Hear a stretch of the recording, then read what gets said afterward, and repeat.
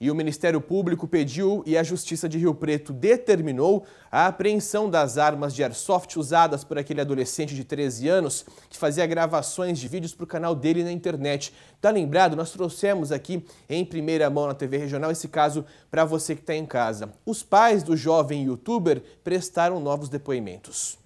A determinação da apreensão foi feita pelo juiz da VAR da infância de Rio Preto, Evandro Pelarim. A investigação a cargo do Ministério Público, onde o promotor pediu é, a busca de alguns materiais para fazer essa investigação, né, para concluir essa investigação, para se saber é, se há apologia a crime ou ato infracional no caso, né, se há situação de risco evidente ou não. Nós mostramos aqui no SBT Interior a polêmica e os vídeos postados no YouTube.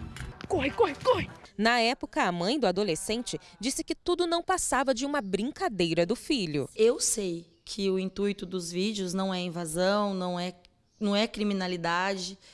E, na realidade, é sim o YouTube né? É, é, ele quer ser youtuber.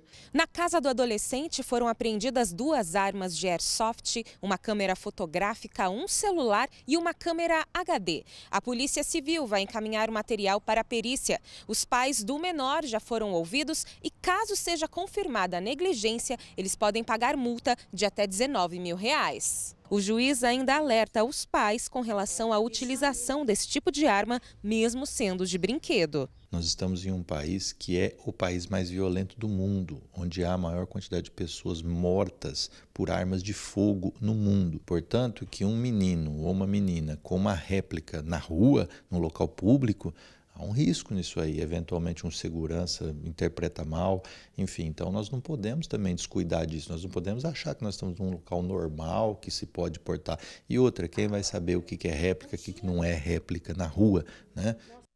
Exatamente isso. Na hora que você chega ali e se depara com uma arma como essa, que é muito semelhante a uma verdadeira, imagine o susto que a pessoa tomaria, né? Então imagine você, criançada que não sabe, não entende muito bem das coisas, entra num canal desse do youtuber, começa ali a achar esse youtuber mirim o máximo, começa a achar muito interessante o que ele faz, a gente sabe que as crianças e adolescentes acabam o quê? Replicando comportamentos que são interessantes para ela, seja da família ou seja então de ídolos da internet, como tem acontecido muito em muitos dos casos, né? Então tem que tomar muito cuidado, viu? A família que permite, volta a falar isso aqui no nosso SBT interior. A família que permite que isso aconteça e os pais também, avós, tios, enfim, que tem crianças e adolescentes em casa, tem que ficar muito ligado com o tipo de conteúdo que essa molecada está consumindo na internet, viu? Tem muita gente que acha lindo, ah, meu filho fica o dia inteiro aqui na internet, assistindo videozinhos no YouTube, navegando pela internet, ele fica tranquilo dentro de casa. Já parou para monitorar o que ele está acompanhando?